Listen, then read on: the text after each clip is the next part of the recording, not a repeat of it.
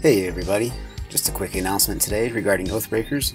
Make sure you download the latest update, which is version 03965, to try out the Rok'Thar Arena, where you have a chance to win a seat in the alpha.